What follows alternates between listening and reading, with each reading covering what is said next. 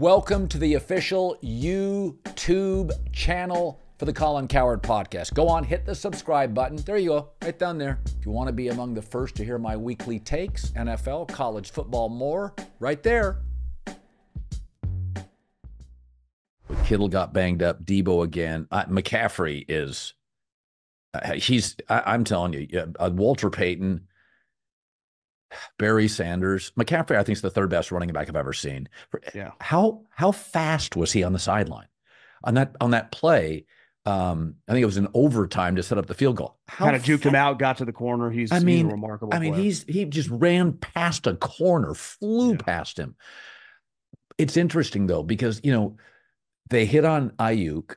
They've got the kicker, a quarterback. Purdy's going to be around. Bosa um, special they Trent Williams, you you you you are a little long. You also can't pay two linebackers big money. They've got some decisions to make. Um, like I we I think we all know Kansas is going to be back and better the next year. They just have to find yeah. a number two receiver. They're, they're going to be fine. Um, San, when you look at San Francisco, do you um, you know they're not paying Purdy anything? Will they have to move off anybody? What do you think? Who? What do they draft? Where do they I, have to get I, a corner? I think Kittle Kittle's you know getting up there in age now, makes a lot of money. You start investing in Brandon Aiyuk. It's one of those things. You know, Kittle doesn't impact the game like Kelce now in the passing game consistently. He's important to the run game, but once you start taking 15, 16, 17 million dollar cap hit, Kyle for being an offensive guy, wired like Andy Reid, they like investing in the line of scrimmage. Their offensive line needs to improve. They could always he'll keep investing in the defensive line. Uh, Arik Armstead's another guy that makes a lot of money who's up there, but he's team captain. You know, they, these are complicated decisions. And this is where, if you want to sustain success, whether you're winning Super Bowls like the Chiefs did when they traded Tyreek Hill, or like San Francisco now, it's proven that you got to make tough decisions. And no one was better at it than, for 20 years than Belichick, right? And the media always used to crush them. How can you trade this guy? It's like, we don't have unlimited money in a salary cap league. So you got to make some tough decisions. And the 49ers are definitely going to have, I mean, Dre Greenlaw tore his Achilles running out to the field. Yeah. And, and now he's a guy under contract, doesn't make that much money, but he's pretty important for them. And uh, what one thing that I, I, think both teams showed, and that John Lynch is really good because Kyle plays a big role, and Veach obviously is a stud. They have both teams have good depth. They're they're very very good at developing players over the course of the season. I mean, how good was Jauan Jennings today?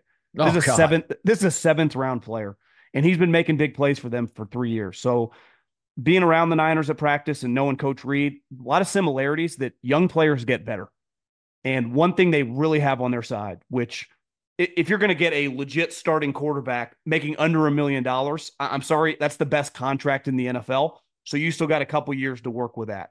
And I, I, think as long as you have that in your back pocket, that that's a that's a pitch most teams don't have. I mean, think about right. the other teams in the NFC. The AFC is harder, even though the Chiefs have proven like they're unfazed by it. Dallas, a lot, lot of question marks with the Cowboys, right? Mike McCarthy last year coaching. Eagles have a ton of question marks. Hiring two coaches that have never worked with Sirianni. If they start slow, Kellen, eh, a lot of weird stuff going on. Lions are pretty good, but I mean, let's. Yeah. That's the first big game Dan Campbell's ever won. So they, they got a long way to go to they could keep doing this. The Rams are coming, but Stafford's getting long in the tooth. Aaron Donald's getting old. The yeah. NFC to me is dramatically easier, right? I mean, the Ravens are going to be good. Burrow's coming back uh, Harbaugh now with with the Chargers. Um, it just you you would imagine Miami gets better on defense. Yeah, but I I think the the road to the playoffs and in before the Super Bowl for San Francisco is dramatically easier than it would be in the AFC based on the quarterbacks you have to go through. So that that's another thing that benefits them. And I mean, who's the beside McVay and Kyle? Like, what are we talking about, right? In the uh, Sirianni, I, I, I like Dan Campbell, but no one, no general manager in the league's taking Dan Campbell over Kyle Shanahan. Yeah, I mean, I if uh, to me, I think the Packers. I would pick the Packers to win the division over Detroit just because I think Jordan Love had huge growth and that team is stacked with young they're, players. They're a team too. I forgot about them. They're yeah. coming. Uh, Rams, I think if they have another good draft, I mean, they just McVay and Shanahan, you know, those are wars. Those are cerebral yeah. wars, academic, physical wars. The um, you know, one of the bigger headlines, um, and I and I think I thought, I guess my take on Purdy is this: I thought he was really composed in the first half, like over. I thought he was kind of blew me away. I did think that there is a way. You know, people say there's a way to defend Lamar, put pressure on him. Well, there's a way to defend Purdy. It's pretty obvious. Now, Spags is great. So it's not like Purdy struggled against, you know, this is a great defensive coordinator. Fantastic. And I'll say this I think didn't Kansas, turn the ball over, almost did at the end. Yeah. But. Yeah. I think I think this defense by Kansas City is fast and twitchy. And I think people will now acknowledge, holy shit, it's really good. Um, but Baltimore kind of ate Purdy up a little bit. Um, I think Purdy played too well in this game for him to get a lot of heat. But the talk tomorrow will be, well, you know, you settle for a field goal. Mahomes gets a touchdown. Do you think Purdy will get any heat at all? No, I think it's more on Kyle. I, I, you know, you're making 900 grand. I mean, Kyle's making 15 million. He's the star of the show. One thing I, if I wanted to criticize Kyle, the play caller, and I think you see it with Andy, when part of the thing with Kyle is his offense is his offense where Andy has adapted over the years a million. Yeah, he yeah. plays one way with Alex, he plays another way with Mahomes. Yes, yes. He used to pass probably too much. Now he has no problem running the ball. He, he realizes he's got that Belichick mindset of like, I'll do whatever it takes. Where Kyle's offense is his offense. Yeah, and one thing they do not do, beside the play action rollout, is just like a rollout. Snap the ball to him and get Purdy on the move. One of Purdy's defining characteristics, which no one really knew when he first started playing, which is evident now, is his mobility is pretty damn yes. good. Yeah. And Kyle doesn't ever get him on the move. What happened some multiple times? There was a play early in the game, a throwback to Kittle that was negated with a penalty. Get him moving. He's an instinctive player.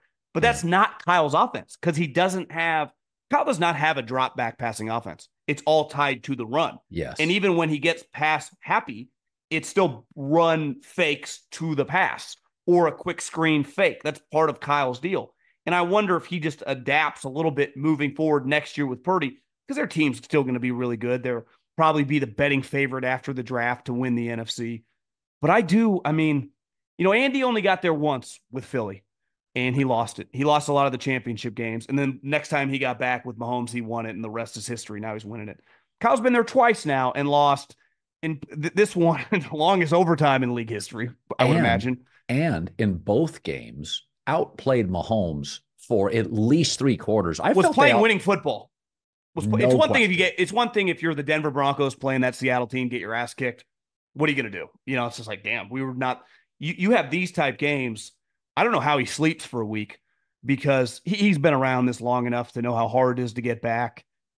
Listen, I, I think they're going to stay maintained being pretty good, but how many opportunities do you get where your team comes out ready? They had just looked pretty shitty the last couple playoff games out playing them.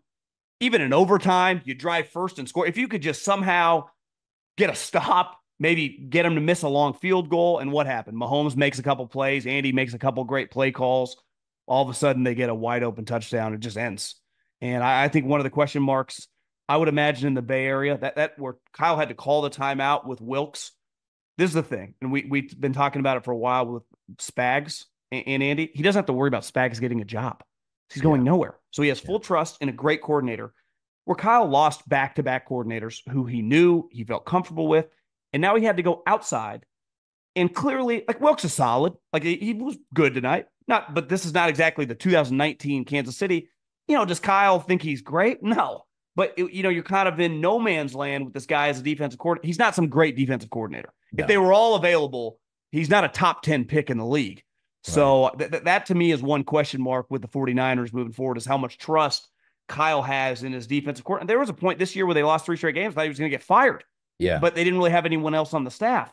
And then when you have to, how often does an offensive coach who's the head coach call a timeout because he doesn't like the look on defense after he gave up a blitz? It's it's very very rare. And even Romo's like he probably did the right thing, but it's not like Andy doesn't even have to do that. And uh, I think I don't know. Maybe they yeah. just they would have ran out of gas even if you know Bill Belichick was their defensive coordinator.